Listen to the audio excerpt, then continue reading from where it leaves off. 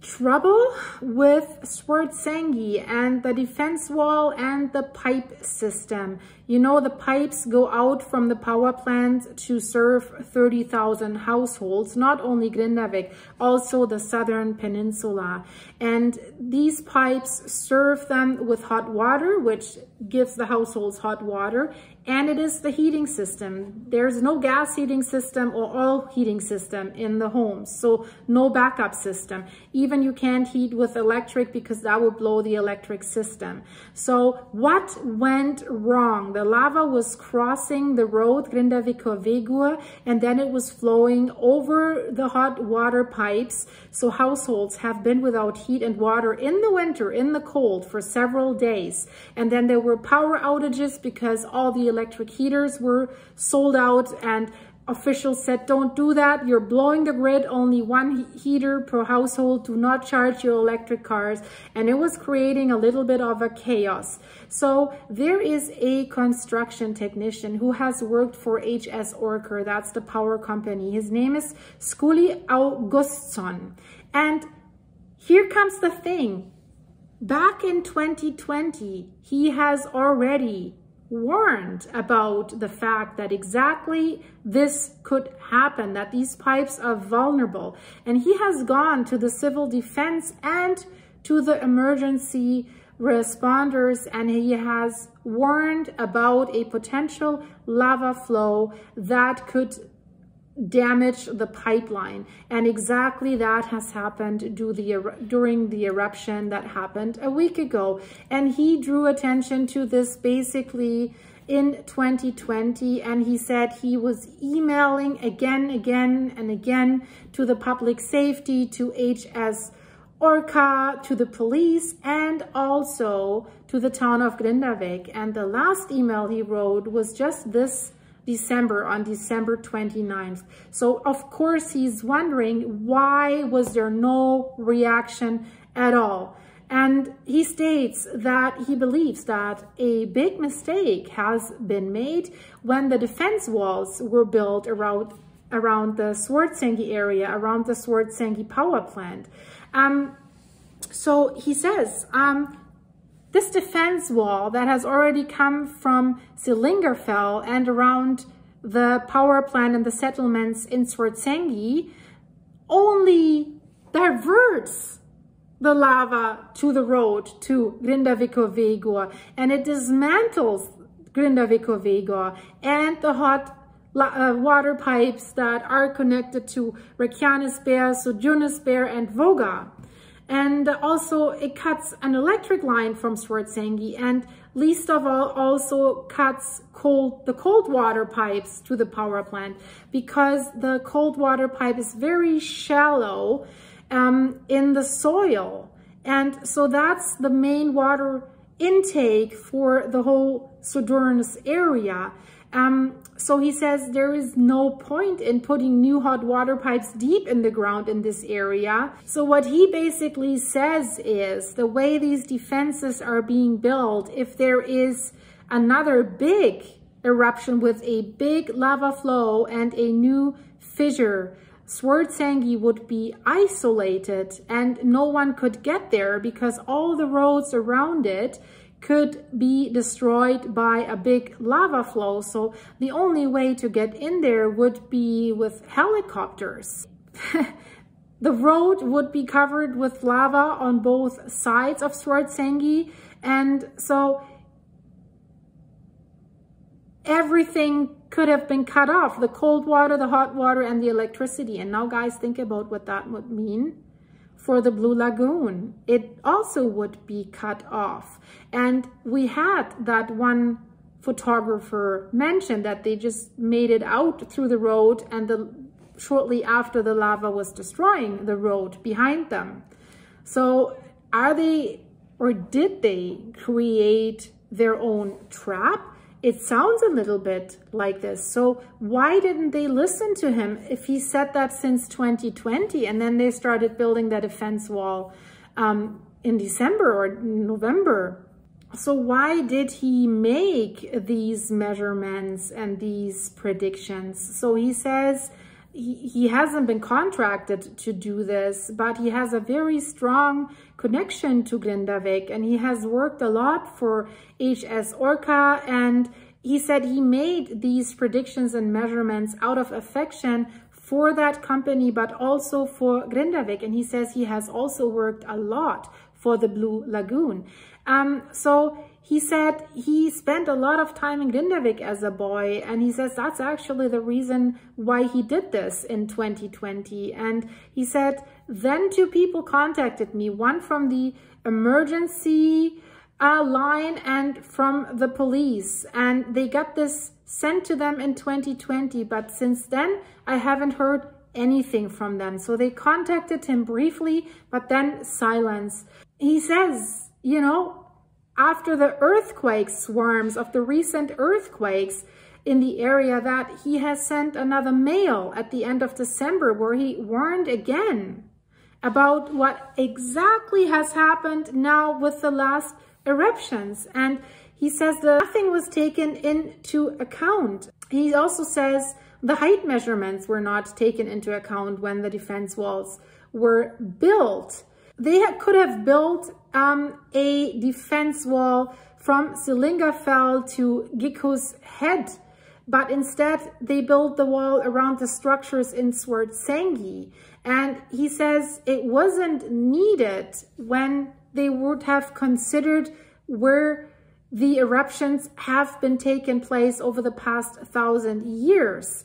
Um, he says it can certainly be understood that they built the defense wall around the power plant, but he says the, there are many interests at stake, but he, he says that things could have been done much better by making shorter walls and more targeted walls to divert the lava.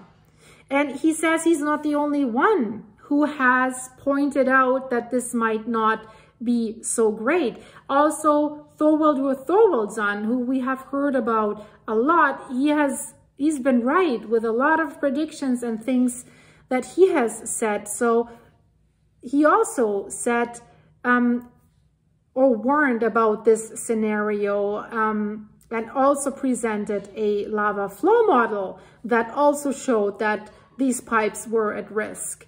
Um, and he says the height of the craters where it erupted, they were about 75 meters above sea level, where, while the height where lava flows towards the Grindavik the height is only 25 meters. And then the Svartsengi is just 25 meters away. So he says his prediction is the next lava flow will also come into this direction. And everything basically has the same height there. So the lava can go over Grindavik and then take the road towards Grindavik. Um, or even towards Keflavik, towards Fitjum, because those areas are all similar in height. So that is real, towards Keflavik. I mean, guys, it gets worse and worse. So, and since this lava has also been a high-speed lava, it makes it even more unpredictable. So things are really scary, I, in my opinion. And Thorwaldur Thorwaldsson, he's the professor of volcanology. He has criticized just recently the government's delay in taking preventative measurements due to these volcanic eruptions. Um, of course, he says at the same time that the Icelanders are excellent in reaction, and they are, and we have seen it. Um, but he says it, it is also necessary to be just as good in reaction when it comes to preventative measures. And he says it is absolutely clear that the period of volcanic activity on the Reykjanes Peninsula is not over, um, even despite the fact that the current eruption that we have just seen um, has come to an end. Um, he says it's pretty much by the book. Um, it seems that this was one of the shorter eruption, maybe the shortest.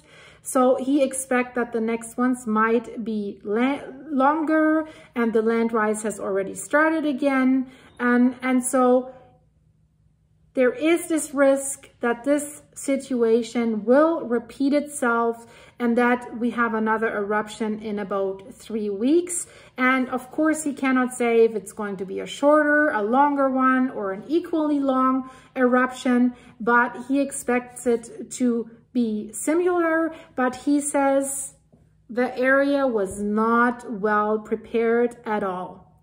So he was asked whether he thinks that the government has been sleeping regarding preventative measures on the Reykjanes Peninsula because of the recent um, eruptions and especially um, in regards to the pipeline that was destroyed and caused such a big problem and lack of hot water. Um, he said that in general, we were not adequately prepared. And he says we have to change the way of thinking. He says we're excellent in our reaction, but we have to get excellent in preventative measures. And we have to start thinking our way because if we have good preventative measures, we can track the possible effects of these volcanic eruptions. So, um, he says the society's attitude and reaction to these eruptions plays a big role in the fact that preventative measures have not been taken in such a targeted manner. He says when people don't see things physically affect their surroundings with the naked eye, they it doesn't have such a big impact to them and people are much calmer. And he says, now it is time to change this way of thinking and this attitude. And he says, you know, in that context, the area of Reykjanesbraut is in immediate danger. He says it is necessary to initiate work on preventative measures and we need to start now. And he says that area of eruptions is not over. And he says, if there is an eruption north of Stora Skogfell, the Reykjanesbraut is in imminent danger. And he says, that's also another road. And as it stands now, Sutnurstranda Vegur is closed and nobody goes through Grindavik. But if also Reykjanesbraut closes, so Durnesund will be isolated. And he says, reminding that we can see eruptions on the Reykjanes Peninsula basically anywhere. So there can be eruptions in other areas as well. In his opinion, the cost of preparing defenses is only a fraction of the cost of trying to save or protect infrastructure in the area. So he says there was no talk of building defenses all over the Reykjanes Peninsula, um, but it would be good to at least have plans ready. Um, and then he was asked about the government's attitude towards scientists' call for preventative measures. So he said the government's attitude towards the scientists when they were given warning and when they were calling for preventative measures has improved after the recent eruptions. Um, and, and, yeah, I mean, if it's not improve, improving, then you can call them really negligent. And he says people are starting to pay some attention to this because now they can see it for themselves. I think the eruption on January 14th has made a huge difference when they saw the lava flowing into Grindavik and actually burning down three homes. So both the conversation and the cooperation between the government, geoscientists, engineers, and social scientists has to be much better and broader. So he wants the conversation started ASAP. And he says the, the Icelandic society can also do much better. So the community can take a greater part in pushing for preventative measures, as well as learning about the effects of the eruptions and their consequences. So by participating in this, he thinks that the people will become more willing to deal with these things. The construction for a new pipeline has begun at the beginning of this year and uh, there has been criticism from other areas that the hot water safety for areas like the Keflavik airport and, and the other towns in that area was not considered way earlier. Um, so additional piping should have definitely been started much earlier. Um, and so people are realizing this right now. And, and of course, they're struggling with the thought that it might not be ensured that they have a guaranteed hot water supply to heat the houses in the future.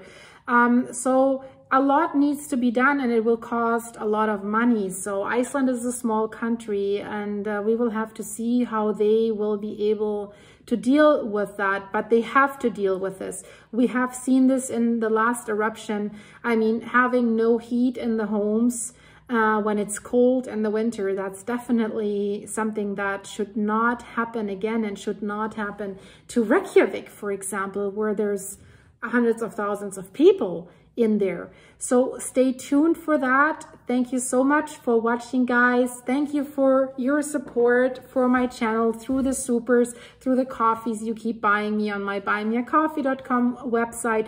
So Thanks for that. I hope to see you very soon. Please leave this video a like and check out the videos in the end screen. And uh, I see you very soon. Bye-bye.